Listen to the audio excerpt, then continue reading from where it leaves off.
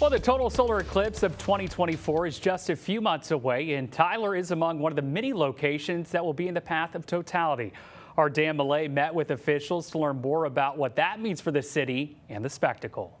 So the next time a total solar eclipse will be crossing the United States after 2024 won't be again until 2045, so another 21 years. But the next time uh, that it will be passing through East Texas and Tyler actually won't even be this millennium. It won't be until after the year 3000. It's the view of a lifetime for East Texas, something we won't experience in this area for hundreds of years after this April, a total solar eclipse. Dr. Beau Hartweg with TJC is an expert on the subject and says to expect our roads to be packed with tourists. So people travel from all over the world to get into that shadow because it's such an amazing event. And so um, there are going to be what we call eclipse tourists, eclipse travelers who want to get into that special area.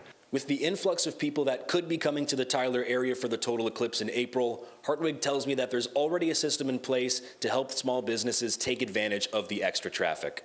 We've uh, partnered with uh, Visit Tyler, Visit Lindale is uh, kind of our outreach to uh, the local area businesses. And so in Tyler, there's a website called totalitytyler.com. So any business who's interested in hosting an event, please check out that website. The idea is really just to capitalize on the eclipse rolling through town and jump on the opportunity to show folks what Tyler and East Texas is all about we just encourage them to kind of make this a fun way to showcase the uh, uh, community and the best of what Tyler has to offer. And so if there are like eclipse themed food, drinks, uh, maybe events, movie nights, or game nights that you can host, anything to make this kind of a fun event for visitors.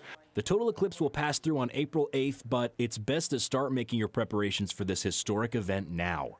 In Tyler, Dan Malay, CBS 19.